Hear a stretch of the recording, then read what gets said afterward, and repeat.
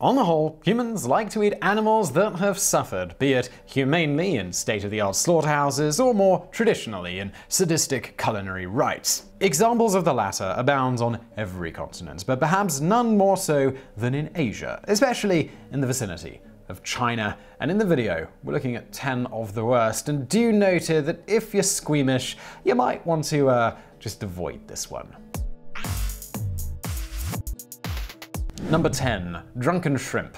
There are several variations on this dish, but they all involve getting shrimp drunk and cooking them alive. Some chefs soak them in alcohol and set them ablaze, while others let them swim around and then drown in wine before steaming them with vegetables. As needlessly violent as it sounds, it's actually pretty reasonable if you absolutely must eat shrimp. Shellfish are crawling with parasites that rapidly multiply once the host is dead, releasing toxins that may survive cooking. This is why we cook lobsters live, and, you know, at least the Chinese are getting those shrimp drunk first. There's still a hint of sadistic glee to the name, though, which coincidentally is phonetically near identical to the Chinese for lowest of the low.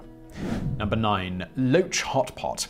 The dojo, or loach, is apparently a pet-like fish that can be trained and enjoys being touched. In Japan, it has been a staple of the average working-class diet for centuries. Nowadays, it's popular among tourists too, particularly at the famous Komagata Dojo restaurant in Asakusa. Here, they are served pre-cooked in a broth atop a charcoal burner alongside a selection of seasonings and green onions. By the time diners finish the cooking process themselves, the dojo are so tender that they can be eaten whole, bones and head and all. Although this loach hotpot is what most Japanese will think of when they hear the words dojo nabe, there's another more sadistic preparation to be aware of. Some think it's a myth, but some actually claim to have tried it. Like the better known family friendly version, the so called hell tofu version is simple. Loaches are placed into a pot of cold water with a block of tofu and gradually brought to the boil. As the water heats up, the fish burrows into the tofu to escape, only to be cooked alive in it.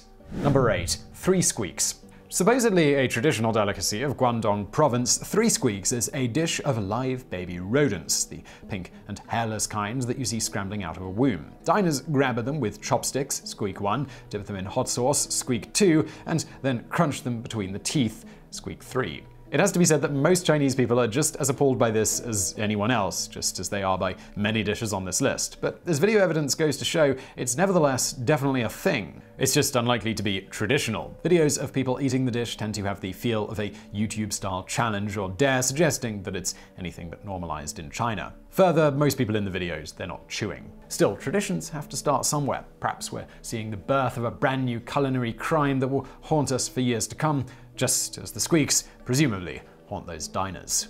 Number 7. Hot Turtle Soup. Hot turtle soup is a traditional dish in various Asian countries, but it's controversial for a number of reasons. First, many turtle species are critically endangered. This is partially why turtle soup is now so rare in the United States, although it once was a common dish there. Second, the consumption of marine turtles carries the risks of chelonitoxism, a type of food poisoning associated with coma and organ problems. After all, turtles can absorb a great many contaminants from polluted waters during their potentially decades long lifespans. And while turtle farming might be a booming business in China, so is poaching them from the wild. But hot turtle soup is also exceedingly cruel. A recipe in the Chinese cookbook from 1917 quickly gets the barbarism out of the way, but it's plain to see in step 1. It says, put the live turtles, all three of them, in a cooking pan of cold water. Bring to a boil slowly. There's no mention of the suffering involved. Recipe quickly moves on to frying the meat in fun wine. But contrary to popular belief about lobster cooking, starting with cold water does not anesthetize the animals. There's actually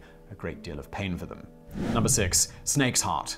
Videos like this, if we're not too careful, can give the racist impression that most East Asian countries are barbaric and bloodthirsty, and that animal cruelty is somehow inherent to their cultures. This certainly seems to be the view taken by Western backpackers who flock to Vietnam's traditional snake restaurants to feast on the hearts and blood of live snakes. But it's almost a Western invention. In fact, this particular tradition dates back roughly as far as the Beach movie from 2000 with Leonardo DiCaprio.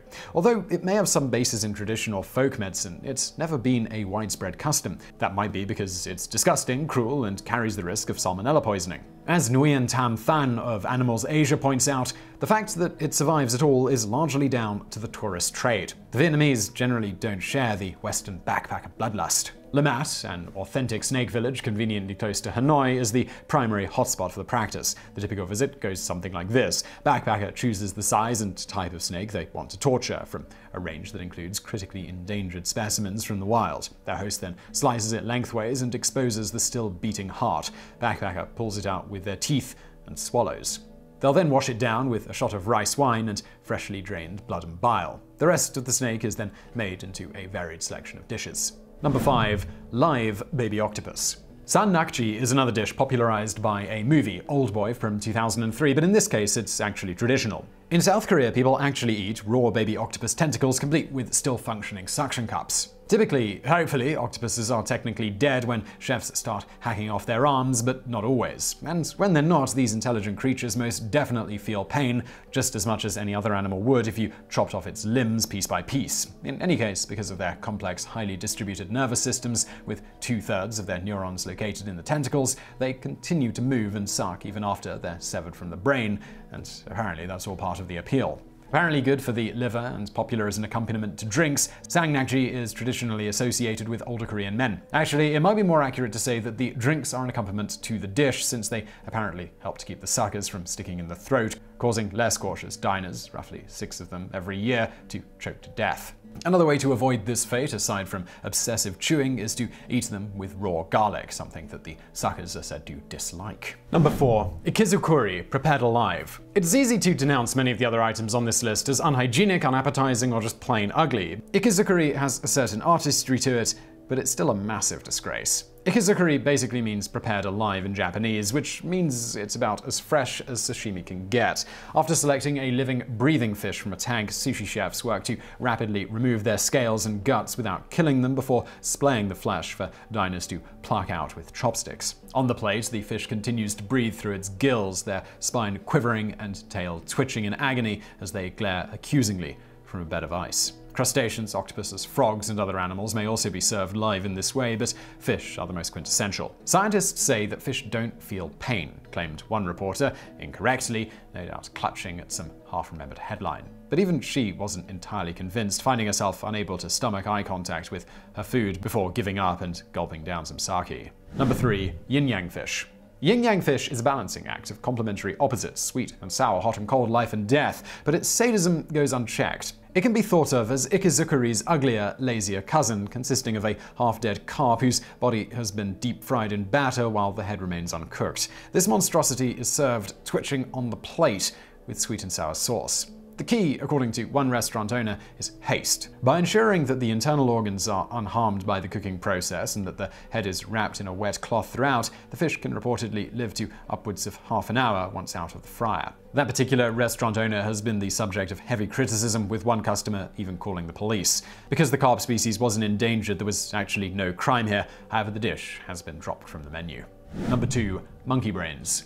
You may have heard the tale. Monkey pokes its head up through a specially made hole in the table and diners smash its skull before digging out its brains with a spoon. This particular dish was featured in the 1978 exploitation shockumentary Faces of Death, which may have inspired the dinner scene in Indiana Jones and the Temple of Doom from 1984. But it seems to be a fanciful myth, an urban legend based on a joke by a newspaper columnist in 1948. Its persistence in videos like this could also just be a case of mistranslation. Hou tou, monkey head, is better known as lion's mane, an edible fungus popular in East Asian cuisine, while now brain is said to be another word for tofu. Monkeys tend to be protected nowadays alongside pandas, elephants, tigers, and so on, with penalties for poaching including life imprisonment and even death. There's also the risk of CJD to contend with. Eating brains can ironically cause dementia as well as coma and death. Even so, it's not unheard of. Footage purported to be of some Vietnamese youths chopping open a monkey's skull and scooping out its brains into their mouths emerged in 2017, and unfortunately, it appears to be real. Number 1. Live Screaming Donkey.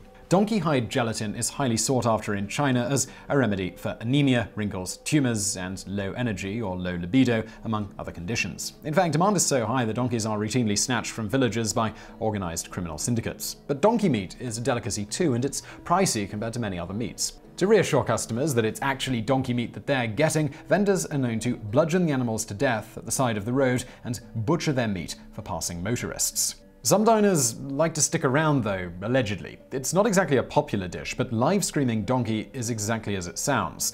chefs hogtie and restrain living donkeys while they slice off bits of their flesh, serving them up raw to diners seated nearby. The sound of agonized braying is supposed to be a welcome accompaniment to the meal. For those who prefer the donkey meat cooked, some chefs are said to peel back the skin and pour boiling water onto the flesh. The good news is that there's not a great deal of evidence to back this up. At the very least, as with some of the other more dubious entries on this list, it may be a brand new tradition in the making, a myth made real by humanity's appetite for sadism. If so, sadly, we're probably going to see a video of it at some point. So I'm not going to ask whether you enjoyed that video, but I do hope you found it interesting. If you did, please do hit that thumbs up button below and don't forget to subscribe. We've got brand new videos just like this every day of the week. Also check out my other channel called Highlight History. You'll find a link to that below. And as always, thank you for watching.